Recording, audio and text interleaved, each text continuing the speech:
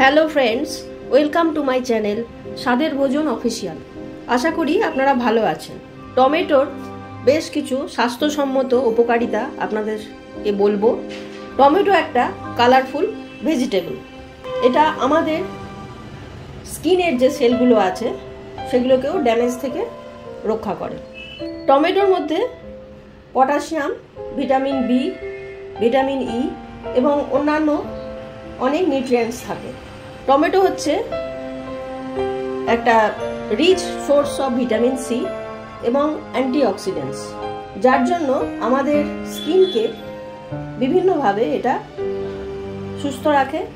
সূর্যের অতিবেগুনি রশ্মি ক্ষতিকর প্রভাব থেকে আমাদেরকে রক্ষা করে এবং যেহেতু এটার মধ্যে অ্যান্টিঅক্সিডেন্টস থাকে, সেজন্য এটা ক্যান্সার থেকেও প্রিভেন্ট করে। টমেটোর একটা চাটনি রেসিপি আমি শেয়ার করছি।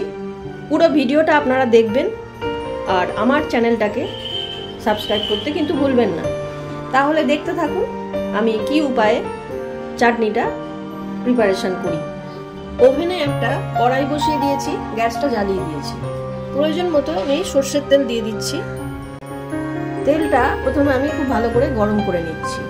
সর্ষের তেলের গন্ধটাকে কাটাবার জন্য আমি অল্প লবণ দিয়ে দিলাম।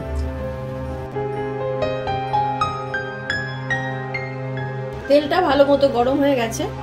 এক চামচ সর্ষের দানা দিয়ে দিচ্ছি। দুটো শুকনো লঙ্কা আমি ফাটিয়ে দিয়ে দেবো।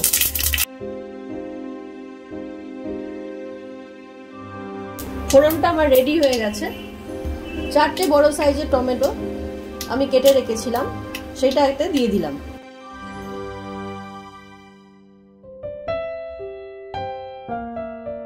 আচ্ছা চামচ লবণ দিয়ে দিচ্ছি। আচ্ছা চামচ হলুদের গুঁড়ো দিয়ে দিলাম। লবণ এবং হলুদটা নাড়াচাড়া করে খুব ভালো করে টমেটোর সাথে মিশিয়ে দিচ্ছি। গ্যাসের ফ্লেমটা আমি মিডিয়ামে রেখে ঢাকা দিয়ে চার থেকে পাঁচ মিনিট এটা রান্না করব। টমেটো খুব ভালো মতো সেদ্ধ হয়ে গেছে। এখন গ্যাসের ফ্লেমটা আমি লো করে দিয়েছি, কিছু কাজু বাদাম আর কিশমিশ আমি এতে দিয়ে দিচ্ছি। কাজু বাদাম আর কিশমিশগুলো টমেটোর সাথে ফ্রাই করে নেব। চিনি এক কাপ নিয়েছি, সেটা এখন দিয়ে দিলাম। ভালো করে এটা আমি মিশিয়ে নেব। গ্যাসের ফ্লেমটা আমি এখন মিডিয়াম রেখেছি, যাতে চিনিটা চট জলদি মেল্ট করে যায়। চিনিটা মেল্ট করে গেছে।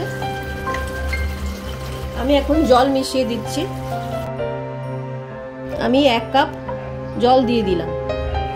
ঢাকা দিয়ে আমি আরও দু তিন মিনিট মিডিয়াম ফ্লেমে রেখে রান্না করব। চিনি আপনারা আপনাদের পছন্দ মতো কিন্তু মেশাবেন।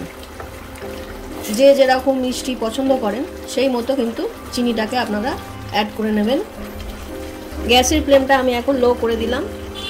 এক ইঞ্চি মাপের আদা আমি গ্রেটারের সাহায্যে গ্রেট করে নিয়েছি। সেটা এখন আমি মিশিয়ে দিলাম।